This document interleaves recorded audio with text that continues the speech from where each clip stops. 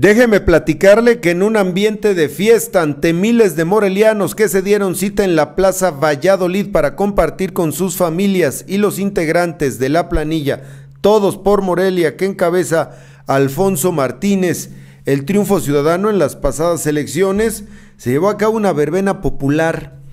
Adultos, jóvenes y niños disfrutaron de este espectáculo, de la música y de la convivencia en esta convocatoria que realizó Alfonso Martínez para pues estar con todas las personas que lo apoyaron y que lo llevaron como candidato independiente a ocupar la alcaldía de Morelia. En un breve mensaje, Alfonso Martínez agradeció el apoyo de miles de morelianos, pues fue a través de su voto con el cual la capital michoacana hizo historia al contar con uno de los seis gobernantes que tendrá el país para este próximo periodo.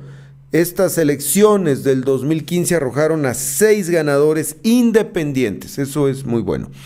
El alcalde electo reconoció que a partir de que asuma la administración municipal, los compromisos fijados a lo largo de los recorridos que realizó en calles, colonias y tenencias de la capital del estado tomarán su cauce, por lo que, dijo, trabajarán intensamente para lograr que sean una realidad y Morelia cuente con mayor desarrollo que permita a los ciudadanos contar con una mejor calidad de vida. Posteriormente, ante medios de comunicación, Alfonso Martínez explicó qué ha hecho los últimos días y como que para cuándo ya habrá luz respecto a quienes ocuparán un cargo en su gabinete. La primera semana fue una semana de revisión de todo lo que fue la elección, esperar el cómputo, esperar el acta, la constancia de mayoría, la cual se nos entregó en la madrugada, del sábado. Ahora he estado el lunes y martes en medios nacionales que me han invitado para poder platicar de este proyecto y de esta candidatura independiente. Lo que sigue es el proceso de entrega-recepción. El gabinete no estaremos eh, organizándolo sino hasta el último mes antes de tomar posesión.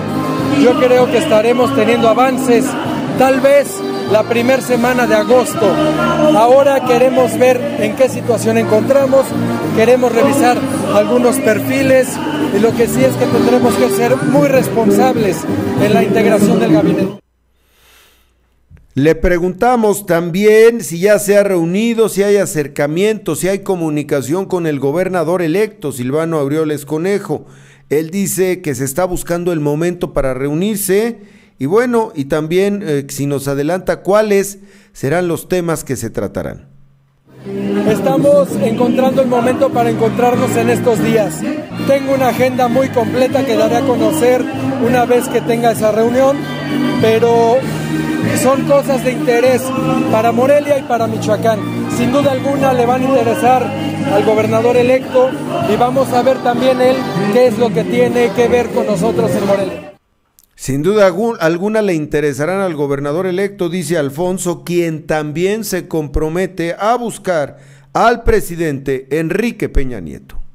Sin duda alguna buscaré un encuentro con el presidente de la República quiero pedirle una audiencia porque es muy importante que se puedan consolidar algunos proyectos muy importantes para Morelia. También anuncia Alfonso Martínez que este próximo lunes inicia el proceso de entrega-recepción en Morelia. El proceso de entrega-recepción inicia a partir del lunes.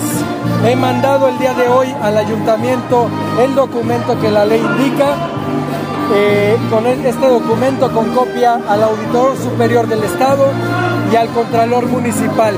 Y a partir del día lunes se integraría este proyecto de entrega-recepción. Entiendo, los datos son que el municipio tiene una deuda inferior a los 400 millones de pesos con una tasa de interés de pie más 1.9%, pero eso es lo que yo he visto en medios. Necesito estar en el proceso de entrega-recepción para poder hablar con mucha puntualidad.